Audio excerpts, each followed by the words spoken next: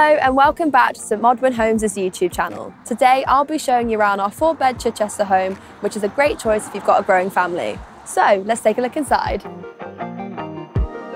As we enter the home, we make a right into the separate living room. This is a very sizable space that can fit multiple sofas, a chair and a large coffee table. This allows you to host many people all at once in the same place. Personally, I really like the consistent green colour scheme throughout this room. This is in the chair, the sofas, the feature wall panelling, as well as the candle and the reed diffuser. Now we'll move into the second room on this floor, which we've decorated as a study. As this home office is so generous in its size, perhaps you could use it for something that requires more space, like a yoga room or even an art studio. It's completely up to you. Additionally on this floor, we have a spacious downstairs WC. We've decided to include textured wallpaper along with half-length teal tiling, but if that's not to your taste, you can change it up through our range of options and upgrades products to suit something more to your style. As well as this, we have some handy hidden understairs storage, which helps keep your home clutter-free, neat and tidy. And if you follow me this way, I'll take you into our open plan kitchen diner. As you can see, there is a green theme running throughout this home. This is complemented nicely with the white shaker style kitchen you can see behind me. The kitchen itself features integrated appliances including a 5 burner hob, a double oven and a fridge freezer. Additionally there's great provision of storage space for cooking utensils, cutlery, ingredients and spices. If you're a more sociable household, then this home is ideal for you. You can easily cook up a storm whilst ensuring to entertain your guests and in the summer months you can open up the French patio doors to enjoy a garden party or barbecue.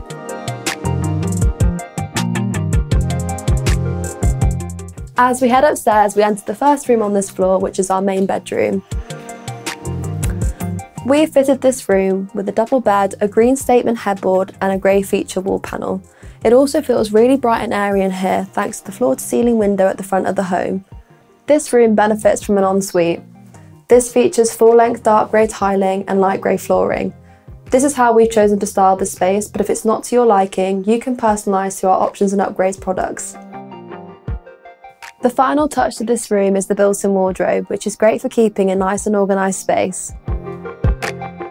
Next up is our second bedroom, which we've decorated with a cricket theme in mind.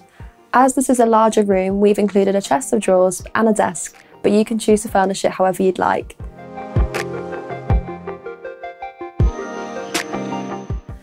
Then we step into our family bathroom. Something I really like about this space is the inclusion of the bath and the shower, as it gives you the option to use both. It also feels really bright in here because of the white tiling and light grey flooring we've included.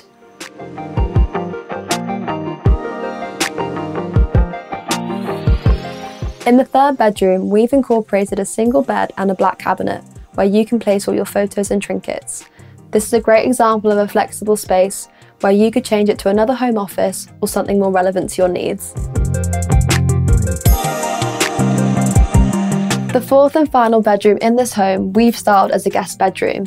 This is suitable if you have any in-laws or friends coming to stay, plus with the addition of a built-in wardrobe they can easily store their luggage. Similar to the rest of this home, I really like the presence of green and white as it creates a peaceful and welcoming atmosphere to the room.